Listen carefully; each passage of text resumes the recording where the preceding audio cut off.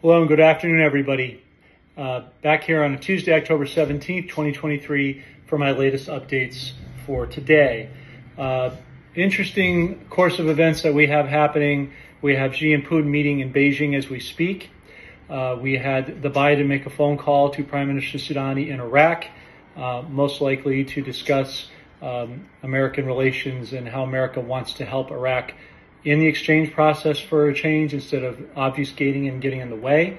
Uh, meanwhile, you have Russia and China who are aggressively vying for Iraq to revalue on the digital platform uh, because that's going to help them with the China Taiwan conflict, which, by the way, I posted some information on one of the channels that shows that that, co- that conflict is imminent in the next 48 to 72 hours. We knew it was coming.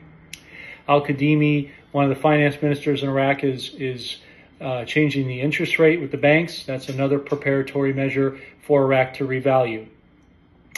As I was contemplating the information, I also wanted to let you folks know that there is a real possibility, as Kim Clement talked about, we discussed last week, in the why, why now moment and the grave surrender. What if the grave surrender includes Iran and Turkey and Egypt? Since we know that Erdogan is coming to Iraq here either this month or next month to sign the oil and gas law, although it's not a necessary prerequisite for the dinar to revalue because they're going to go digital, it is something that they can officially record in the books and document accordingly, uh, which certainly doesn't hurt them. So what if that is the uh, part of the grave surrender that these three countries take, and Iran, as the big brother to Iraq, would free their hands off their little brother, which would in turn benefit them as well, both in the short and the long term. Something to consider. Again, as a friendly reminder, I'm doing a show tomorrow with Nick Veniamin, where we're going to be doing strictly on this episode a Q&A session. So any last questions you have, please post them in the comments section. We have been taking notes of your your questions so far.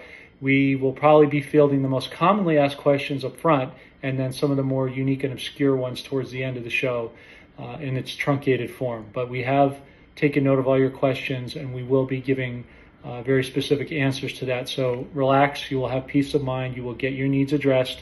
Just remember to be thinking about how you can be in continuous service to others and not be so concerned about how you're going to exchange or which banks are going to work for you.